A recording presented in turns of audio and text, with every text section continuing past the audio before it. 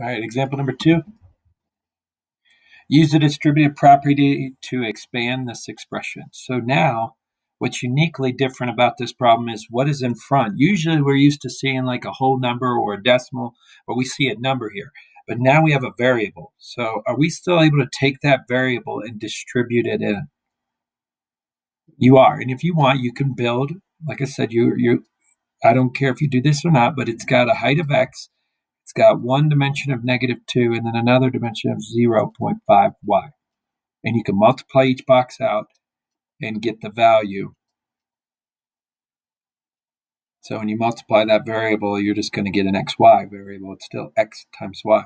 So if we just, just did this distributive, x times negative 2 gets me negative 2x. x times a negative 0.5y gives me xy. That Now, that one you could have 0.5 yx. I really don't care. It's multiplication. I mean, just think 2 times 3 is 6. Well, if I change that order, 3 times 2 is still 6. I mean, I could throw a third number in there. It doesn't matter. 2 times 3 times 1 is still going to equal 6. And if I did 1 times 2 times 3, that's still 6. So I can mix that order around any way I want. I choose to keep um, it in alphabetical order, so I put the x before the y. Um, but either way, build your diagram or just do your distributive, um, and you're going to get this expression now.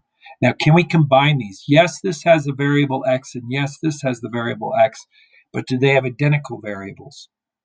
So the only way we could combine this and actually get like a negative 2.5 is if there was a y right here as well.